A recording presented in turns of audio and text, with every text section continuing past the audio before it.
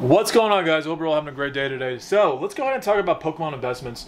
And if you are serious about Pokemon investing, and you definitely want to, you know, really get into Pokemon investing, and you really want to put in a large amount of capital, in my opinion, a large amount of capital that I, would indicate to me that someone is serious about investing is anything that's ten thousand dollars or more. If you invest ten grand or more into Pokemon, I would consider you as a serious investor, in my opinion. Um, obviously, people have different opinions of what a serious investor is, whatever the case may be. But in my opinion, 10 grand is the number that I'm going to go with, okay? So let's go ahead and start writing stuff on the whiteboard. Uh, if you are definitely considering, you know, investing in Pokemon, definitely pay attention to this. This is not financial advice. This is just my own recommendation for entertainment purposes. So do not take this, you know, as you know, set in stone. Do your own research, and obviously listen to different sources to determine what you should do. Okay, this is just my version of it. So, 10 grand. We got $10,000 that we want to allocate to Pokemon, right? Now, there are three different things that I think, in my opinion, there are good investment vehicles that you can diversify within the Pokemon space that I think are good, uh, good investments. Now, everyone's going to tell you, if you're watching this, a lot of people are going to tell you and advise you that you should only just buy sealed product, right? The reason why you should only buy sealed products is because you know it's predictable. The you know it's a lot safer, right? It's a lot safer than the other things you can invest in in the Pokemon space. Uh, and you know it's definitely you know you get 10% year over year for your you know annual returns and everything like that. And people look at sealed product as the S&P, right? It's safer, right? And that's not bad advice at all it's definitely there's a lot of merit to that to that advice. However, it depends on your goals. If you only want to just buy sealed product, then you should at least know the cons of what that's going to look like when you're storing all of that. Okay, all that sealed product. Okay, so the major thing you have to consider about buying a shit ton of sealed product is that one, you get have to find a place where to store it. I do not recommend storing your sealed product in a garage. You need a ventilated room that has you know air condition um, and it's it's just it's room temperature. Because you don't want to store your your your investment in, in a in a storage unit and it's hot the weather conditions can you know it can be you know humid outside humid outside and it can definitely affect the the integrity of these boxes and definitely the packs that can ruin the value of your investment okay? So consider that. When you go and buy a sealed product you have to store it in a ventilated room in a room temperature, you know, you, you know, in space basically, whether it's a basement or it's another room, extra room, extra space, or a loft, right? And then think about it, ten grand. Let's say you buy ten grand worth of sealed product. That's like anywhere from like hundred to 150 cases, okay, depending like what you're buying. That's a lot of cases. That's a lot of cases, okay. Um, actually, 100 cases, maybe like 50 to 100 cases, right? Not 150, maybe 50 to 100 cases. But still, 50 to 100 cases is a lot of cases, okay? Um, and you definitely don't want a bunch of boxes boxes stacked up in your in your bedroom, right? That's very inconvenient, and that's kind of annoying, right? I don't know about you, that would annoy me if I had a bunch of boxes stacked up in my own room, right? Um, if I was investing, right, into just sealed product. Now, to sell this stuff, to get rid of it, let's say you get rid of it on eBay, you're gonna have to ship it. Shipping is a nightmare. Shipping, you have to buy the box, you gotta buy the shipping materials, like you know, bubble, uh, you know, you gotta buy bubble wrap um, and, and, stuffing to make sure it doesn't move and rattle around in the in the box. That way, it's going through transit in a very smooth manner. That costs like an extra twenty dollars, not even including the eBay fee that you have to pay after the transaction's completed on eBay. So you're losing out on a lot of potential. You know, uh, there's a lot of costs that are involved that potentially can lose out on a lot of your capital gains when you're only just investing in sealed. People don't consider that when they're only investing in sealed. People don't think about that stuff. Okay? So, sealed, I have a certain percentage of what I think you should allocate this 10 grand. So, in my opinion, you should probably allocate 50% of this number into sealed. My own recommendation, my own opinion, right? So that's going to be 5,000. Five grand. Okay? Five grand is what you're investing in with the sealed. Okay? Now, let's talk about graded cards. What's the con about graded cards? Graded cards that I'm going to think that people are going to be mostly scared of is the volatility. Okay, the volatility in graded cards is definitely real. You can definitely make two, three x, you know, in, in, in, a, in a cycle, in a market cycle. You can definitely three, four, five x your money depending like when you bought the slab and how long you hold on to it. Now, on the flip side, slabs can go down by a lot. They can correct all the way down to 30, 40, 50% sometimes uh, in a bad bear market, right? Okay, so people think that graded cards, you know, investing in, at all in graded cards can be very dangerous, right? Um, now, you definitely don't want to miss out on that potential, on those potential gains, right? If you diver, if you're diversifying, right? I would say for graded cards, obviously you don't want to put all your money in graded cards, right? I would say 20% is a healthy number that you want to allocate into uh, into graded cards.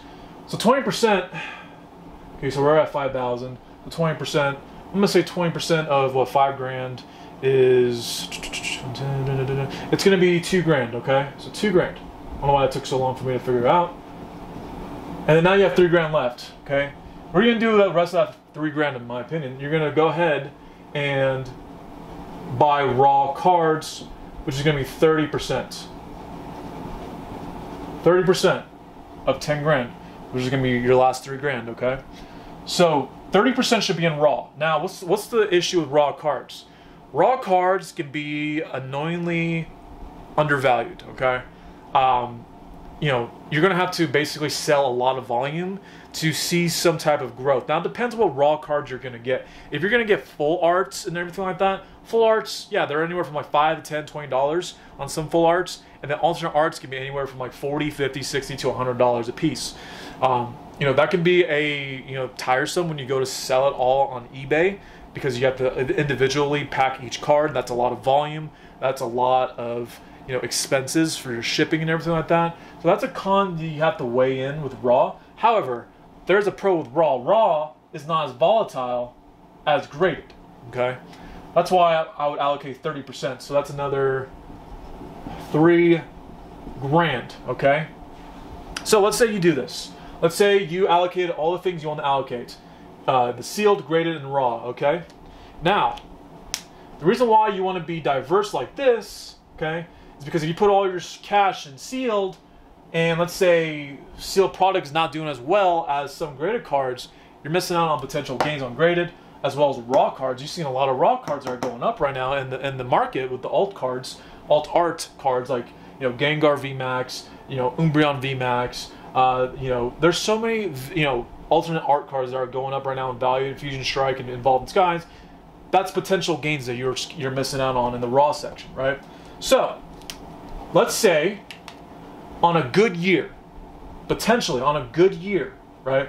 On average, let's say uh, this 10 grand gains 20%, okay? let's say you get 5% gains in sealed. Let's say you get 10% in graded. And let's say you get, I don't know, 5% in raw. Okay? 20%. What is that 20% going to look like? Well, that's going to be an additional two grand that you just made on your initial investment, which is going to be 12 grand. Boom. Now, you just make 20% on your gains, okay? Now, it can definitely go up way more than this. I'm just putting 20% as kind of an example, right? 20%. Now, what happens if everything goes up and it's a good year? Good year, right? Solid year. You're going to have to basically talk to yourself, analyze with the markets, and see what's going on and say, when is the market going to correct? At some point, it just cannot continue to go up forever, right? It can't. Because obviously there has to be market corrections along the way, or a crash potentially. So you have to consider taking your profits. That's basically what you know they say in the investment world you want to take your profits, right? So taking your profits 20%, right? You go this is by the way, this is this is net profit by the way, not gross profit. Gross profit probably like right around 32, 33% because you got to factor in all the fees you have to pay on eBay if you're going to liquidate all this off of eBay, right? This is still a great return. 2 grand in 1 year. That's a great return, right? And then now you have 12 grand as your new buying power, okay? And you just continue to rip, uh, rinse and repeat every single cycle, right? And the reason why you know, you have to pay attention to the markets, and the reason why I think you should be taking profits is because you don't know if a product's going to continue to go up parabolically. There could be small corrections, there could be a crash, but you seriously don't know. You and I both don't know if Evolving Skies is going to become a $10,000 box. Can you even fathom that in your mind? That Evolving Skies, one day, the booster box can become a 10 grand box. Well, on paper, it's a very highly, highly, you know, it's it's it's it's highly in demand. Let's just say everybody wants Evolving Skies. Now, will that demand diminish over time? It could. It for sure could. Right? Just because a base set first edition uh, Pokemon box is worth you know a quarter million dollars, right? Does not mean it's in high demand. Just keep that in mind, right? It's not in high demand. Now, the reason why it's at that price is because of scarcity and the demand over the years, but people have moved on eventually it's going to be very hard to find a buyer that's going to buy that quarter million, uh, you know, that quarter million, uh, you know, first edition uh, base set, right? But if the person that held on to that long to that box would have sold at 100 grand or 120 or 150 grand, and, and there would be potentially more buyers that are willing to buy the box at that price at the time. So you have to basically holding forever is, in my opinion, a fallacy that I will get into in a different video. But you should be taking your profits on a cyclical, in a cyclical uh, manner, in my opinion. This is my opinion. Uh, but yes, this is what this would look like if you had 10 grand. What I would do with that 10 grand and allocate your money wisely. And this is how I would do it. So if you guys enjoyed this video, if you if you found this video insightful and educational, go ahead and leave me a comment and leave me a like. Uh, let me know what I should go over next time. And yeah, if you guys have any questions, let me know. I'll see you guys in the next one, guys. And have a great rest of your weekend. Peace.